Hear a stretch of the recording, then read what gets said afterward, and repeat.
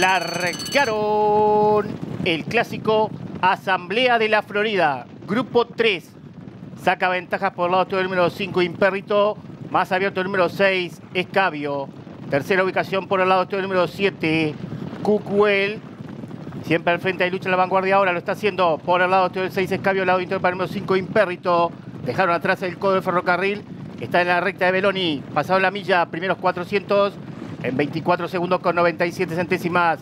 El 6 Escabio enseña el camino. Con medio cuerpo ventaja lo persigue el número 5 Impérrito. Tercero ubicación, dos cuerpos y medio por el lado interior el número 3 Guidi. A medio cuerpo el 7 Cucuela. Un cuerpo y medio el número 2 Zíngaro. Al pescuezo de los palos el 1 Coqueiro Plic. A tres cuartos cuerpo viene accionando por el lado exterior el 4 Talentoso Plic. Los primeros 800 en 48 segundos con 99 centésimas. Por el lado exterior el 6 Escabio. Mantiene el pescuezo ventral, lo sigue el número 5, Imperrito. Tercera ubicación, dos cuerpos y medio por el lado interior, el número 3, Guidi. Al pescuezo por el lado exterior, el 7, Cucuel. A un cuerpo y medio, el número 2, Zíngaro.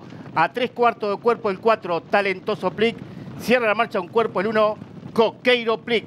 Primeros 1200, 1 minuto 13 segundos, 13 centésimas.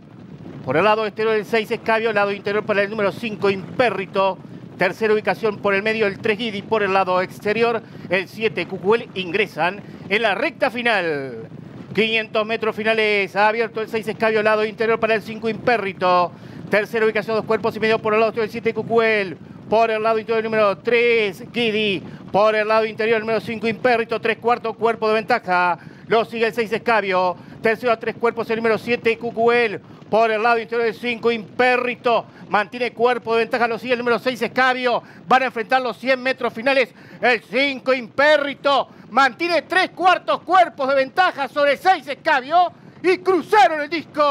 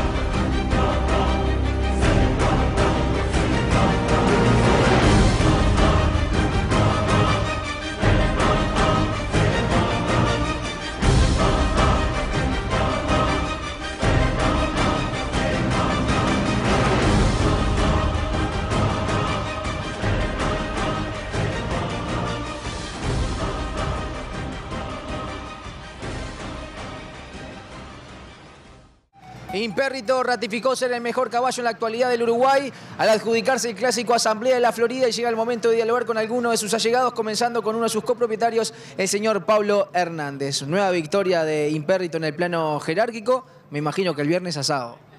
Va a haber el viernes y va a haber el sábado también. Pablo, ¿qué comentario me puedes hacer acerca de este triunfo? Bueno, una vez más, Impérrito ya está adquirido en nuestras familias, que todos los meses tenemos una ayuda de alegría y del otro también, y una carrera más. eh, y bueno, ahora pensando en lo más grande que es el, el Ramírez, ¿no? Seba, una carrera... que queda, tiempo, queda mucho tiempo, pero bueno, esa es la... Nuestro manager nos ha dicho, corremos el Ramírez, y bueno, ahí, ahí apuntamos.